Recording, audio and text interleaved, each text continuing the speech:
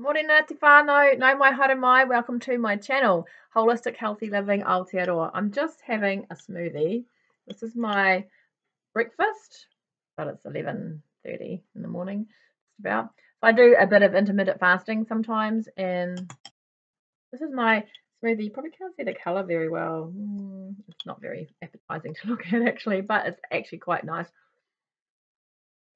So I didn't this morning. Um, oh, this this video is going to be about um getting real about what I've been dealing with in the last month, which is kind of I've been through a bit of a slump, I guess, in my progress, and just talking about how I'm getting myself back on track and um, what mindset I'm having to use in order to um, make some positive changes and get back on track, basically.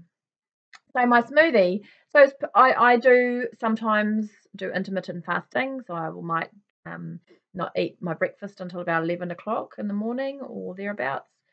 Sometimes later because it's just I happen to be busy or in town or something or get stuck somewhere and I can't get home for anything to eat that's healthy. So I have to wait till I get home. Um, so what I'm eating for my my smoothie. So I did a workout this morning and I quite like to have a bit of a nourishing smoothie for um, something to eat after I have a workout. But today I had to rush off. Um, and because of that, I'm now having a very late post workout smoothie. Uh, and this has in it celery, beetroot, strawberries, blueberries, banana, and I think that was it those five things. I think that was it. Um, oh, and spinach, baby spinach. Just small amounts of, of each of those, plus some puku ora bone broth protein, which is a double chocolate flavor, which is great. Um, and this is really for gut health.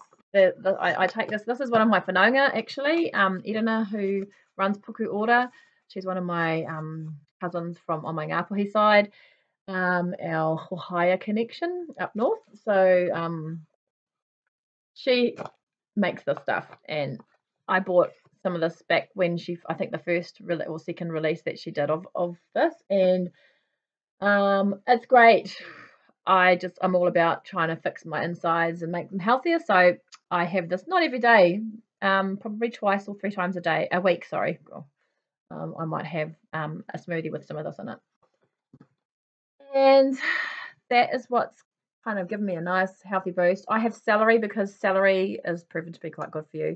Um, and beets are very good for my liver. And I'm, um, you know, if you know anything about my story, um, I have gallstones. I have a gallbladder full of gallstones, and so I'm trying to heal myself with food instead of surgery.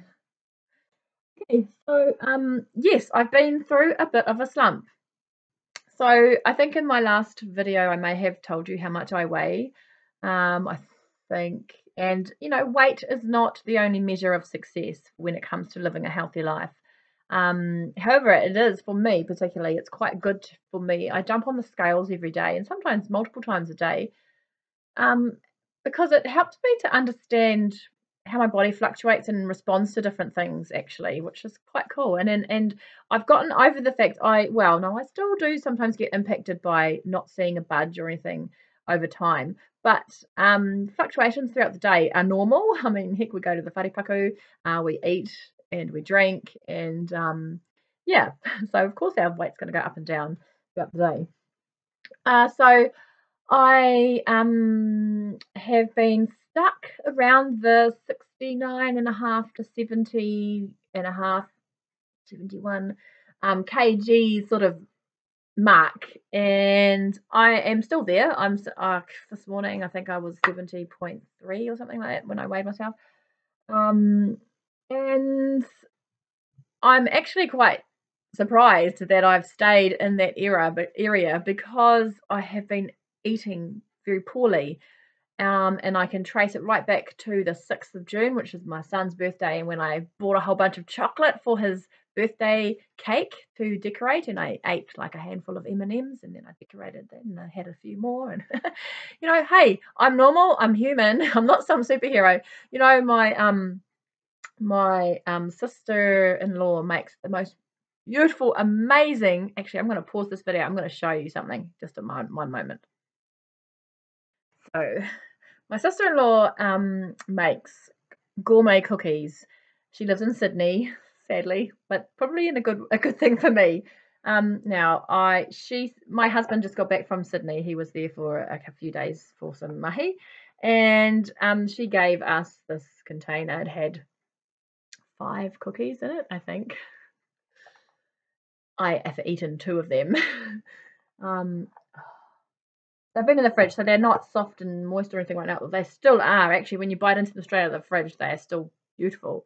So this is a pretzel cookie, and it's got yummy. Look at all those beautiful ooh, white chocolate chips in there.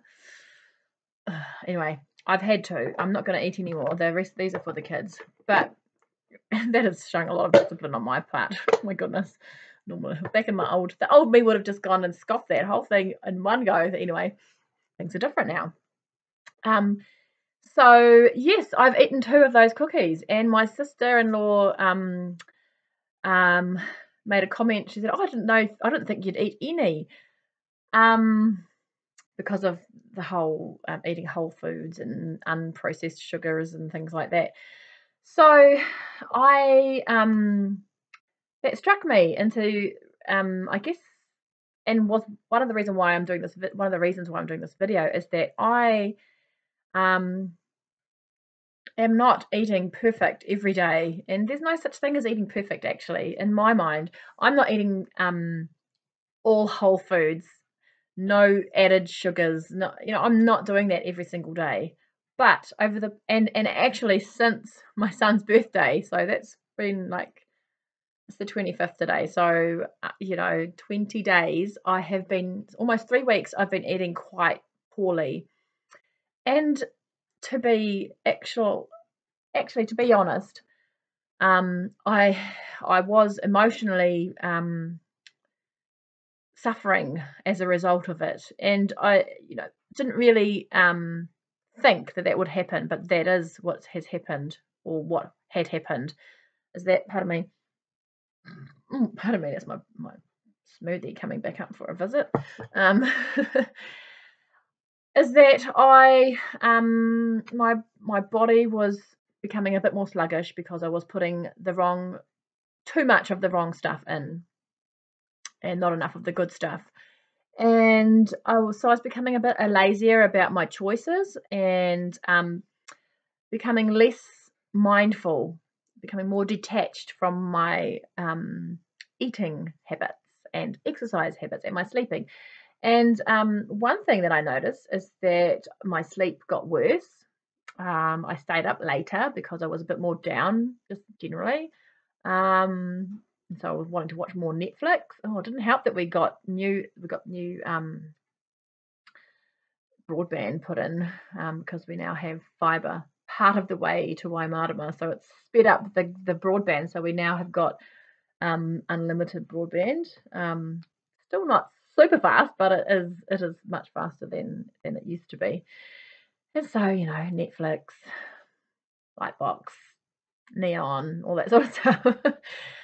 One thing also that happened is that I um my old injury that I have had since forever, and I only think it has it my my right shoulder, right shoulder, the muscle that goes from your shoulder up to your neck.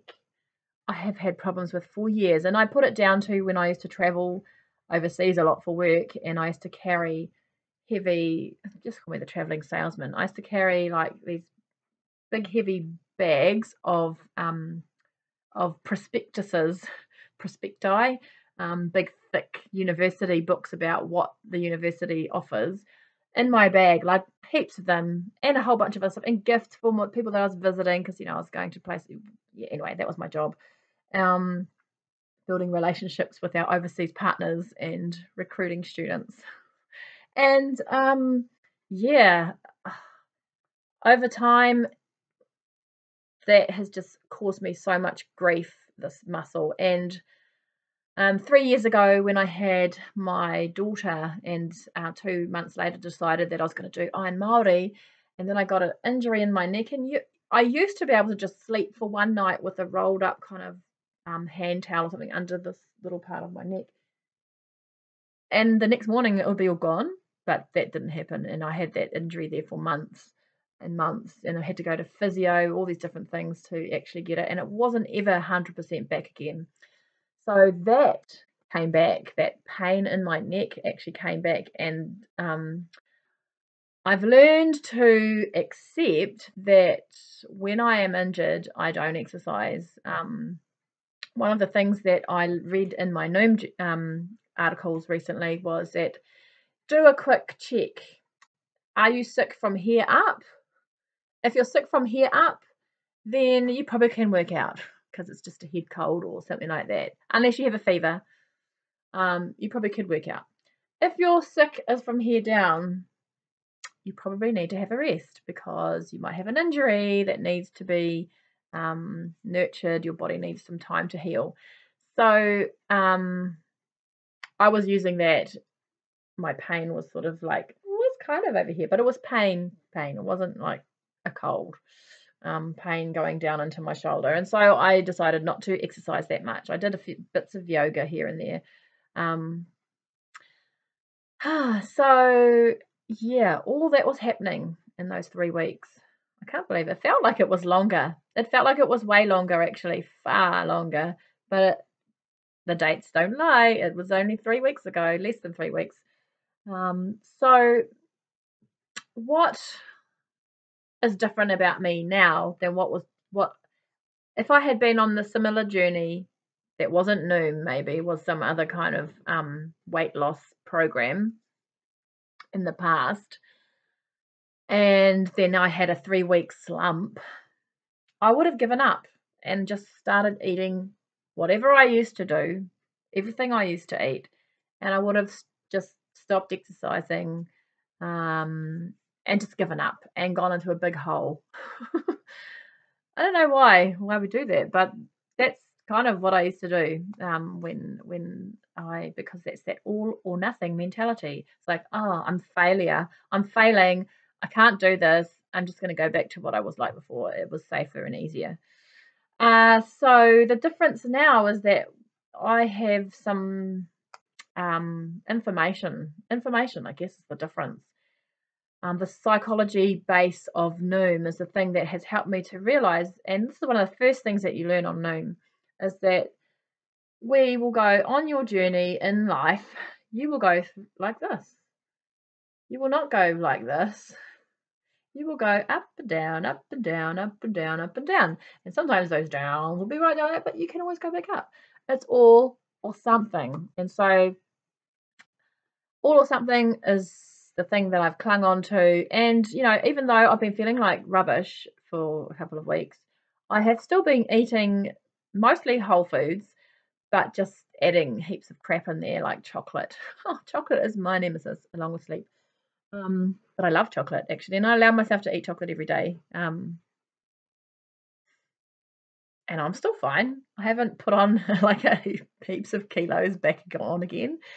Um, so what I am, I guess, the message of this um, video is that as we go through our journeys in life, we need to remember that um, there is no ideal. Ideals are terrible. Ideals are the worst thing ever. We should never put ideals or place ideals upon us. That that expectation and those it's like a ooh heavy thing that is you're putting on your shoulders. You know, free yourself of those. Chuck those things away. Ideals are rubbish. Um, everyone is different.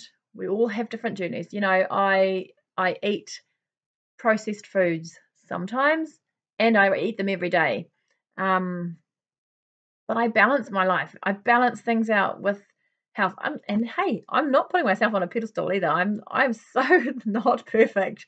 You know, I look at myself and I still think, oh, I should, you know, I, I need to um, lose a few inches around there or whatever but I don't make that my driver. You know, I I instead I um just think about living healthily, you know, living a healthy life. My whole, you know, the four pillars of health. Um, so there's the whare tapa whā, but there's also the four pillars of health, which I may have talked about previously. But you know, sleep, stress management, um, nutrition, and exercise.